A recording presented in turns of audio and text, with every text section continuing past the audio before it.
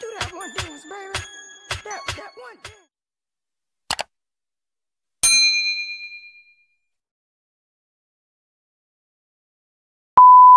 Hai, perkenalkan nama saya Sia, saya dari Universitas Munawwarman, Fakultas Keguruan Ilmu Pendidikan, Prodi Pendidikan Bahasa Sastra Indonesia dan Daerah. Nah, di sini saya akan ingin menyampaikan materi tentang sejarah sastra periode 1953 sampai 1961. Sebelum kita masuk ke dalam materi, saya ingin menjelaskan bahwa sastra pada dasarnya adalah sejarah ciptaan dan ciptaan bukan hanya tiruan. Sebagai wujud dan hasil ciptaan, karya sastra pada hakikatnya merupakan media yang menggunakan bahasa untuk mengungkapkan kehidupan manusia. Oleh karena itu, karya sastra pada umumnya mengandung persoalan-persoalan seputar kehidupan manusia. Oke, langsung saja kita masuk ke yaitu krisis sastra Indonesia. Pada masa itu, Indonesia mengalami perubahan akibat peristiwa penjajahan menjadi kemerdekaan. Peristiwa proklamasi kemerdekaan membawa situasi buruk bagi para sastrawan. Terjadi krisis sastra karena sastra yang bernilai tidak boleh diterbitkan dan dilarang diedarkan oleh pemerintah Orde Baru. Sehingga timbul polemik yang berkepanjangan di antara kalangan sastrawan Indonesia pada awal tahun 1960. Kemudian menyebabkan terhambatnya perkembangan sastra karena masuk ke dalam politik praktis dan berakhir pada tahun 1965 dengan pecahnya G30S atau PKI di Indonesia. Selanjutnya materi yang kedua, sastra majalah. Tahun 1953, Balai Pustaka kedudukannya tidak menentu. Penerbit ini kerap mengalami perubahan status, penempatan pimpinan yang bukan ahli serta anggaran yang tidak mencukupi, menyebabkan kemacetan produksi. Para pengarang setelah Angkatan 45 menghadapi kenyataan-kenyataan yang tidak mengantukkan kehadirannya. Meskipun mendapat tempat di halaman-halaman majalah, ruang kreativitas mereka tetap terbatas, terutama untuk mencari identifikasi diri dan kawan-kawannya. Materi ketiga beberapa pengarang. Yang pertama ada Nugroho Nuto Susanto. Nugroho Nuto Susanto lahir pada 15 Juni 1931 di Rembang atau Jawa Tengah, beragama Islam. Nugroho Nuto Susanto adalah sastrawan yang banyak menulis kisah perjuangan bangsa Indonesia dalam melawan Belanda. Nugroho Susanto dikenal sebagai sejarawan dan sastrawan terkemuka di Indonesia menulis secara produktif.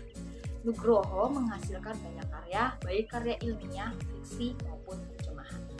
Pengarang yang kedua, Nafis. A.A. Nafis yang nama lengkapnya Ali Akbar Nafis lahir di Kampung Jawa, Padang Panjang, Sumatera Barat pada 17 November. Ia meninggal pada 22 Maret 2003 setelah menjalani perawatan di Rumah Sakit Jantung Harapan Kita Jakarta. Sejak cerpen pertamanya robohnya Surau Kami terbit dalam majalah Kisah tahun 1955, Nafis mengejutkan pembaca sastra Indonesia dengan sindiran yang amat tajam terhadap pelaksanaan kehidupan beragama. Disusul dengan novelnya yang berjudul Kemarau tahun 1967. Novel ini menggambarkan bagaimana konyolnya manusia-manusia dalam menghadapi cobaan dari Tuhan, yaitu kemarau yang panjang. Yang ketiga, Trisno Wuyono. Trisno Yuwono adalah sastrawan yang banyak menulis beberapa karya sastra dengan latar perjuangan melawan penjajah. Dia lahir di Suskro Suman 12 November 1926 dan meninggal dunia di Bandung tanggal 20 Oktober 1956 di Bandung. Trisno Yuwono lebih dikenal sebagai cerpenis karena sebagian besar karya yang menghasilkannya terbentuk cerita pendek.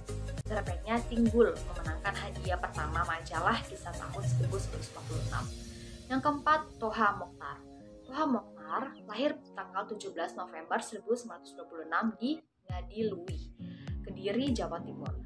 Sebelum menekuni profesinya sebagai sastrawan, ia menjalani berbagai profesi, antara lain sebagai perancang grafis dan ilustrator buku.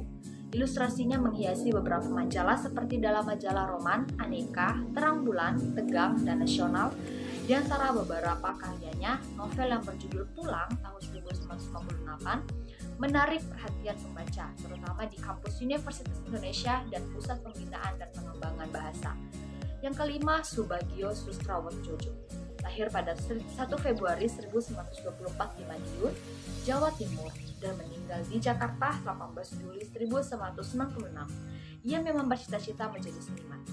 Meskipun Subagio Jojo belakangan ini lebih terkenal sebagai penyair dan bukunya yang pertama pun merupakan kumpulan sajak yaitu Simponi. Sesungguhnya ia juga penting dengan prosa-prosanya baik yang berupa cerpen maupun yang berupa esai. Cerpen-cerpennya dibukukan antara lain yang pertama Kejantanan di Sumbing tahun 1965, yang kedua Perawan Tua Sangat Menyala. Pengarang yang terakhir Mutinggo Bosjo. Nama aslinya adalah Mutinggo Bustami Dating, tetapi dia mengganti namanya dengan Mutinggo Bosjo atau Mutinggo Bushe dan nama itulah yang kini lebih dikenal.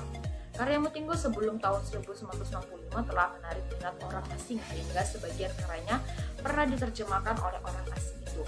Satu di antara karya yang pernah diterjemahkan ke dalam bahasa asing ialah novel dalam pengantin di buku kera yang diterjemahkan ke dalam bahasa Cekoslovakia. Materi selanjutnya, pengarang lainnya. Yang pertama adalah Rijono Prantiko. Lahir di Tegal tanggal 27 Agustus 1932. Telah mulai menulis sejak masih duduk di SMP. Cerpen-cerpennya dimuat dalam majalah terkemuka di Jakarta sejak tahun 1949 kedua SM Ardan yang nama sebenarnya Sejah Mardan, lahir di Medan tanggal 2 Februari 1932. Mula-mula menulis saja, kemudian cerpen dan esai serta kritik. Yang ketiga Suekanto, SA lahir di Tegal tanggal 30 Desember 1930. Ia banyak menulis cerpen, tetapi sebagian saja dimuat dalam kumpulannya Bulan Merah 1998.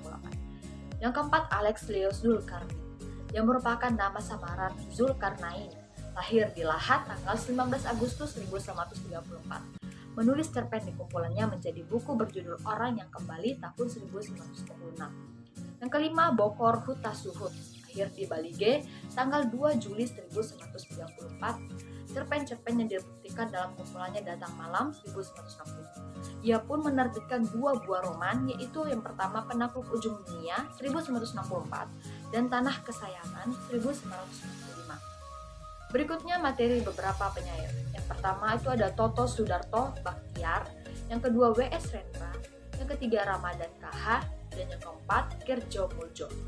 Selanjutnya ada drama. Pengarang yang pertama Nasjah Jamin, yang kedua HM Yusabiran, dan materi terakhir adalah pengarang wanita. Nur Hayati Srihartini Siti Mukani. Lahir di Semarang, Jawa Tengah, 29 Februari 1936 meninggal di Semarang, Jawa Tengah 4 Desember 2018 pada umur 82 tahun atau lebih dikenal dengan nama NH Dini adalah sastrawan, novelis, dan feminis berkebangsaan Indonesia.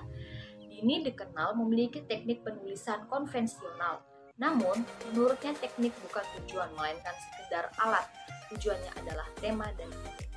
Oke, segitu saja penyampaian dari materi yang saya bawakan. Sekiranya dapat membantu dan terima kasih. Bye-bye.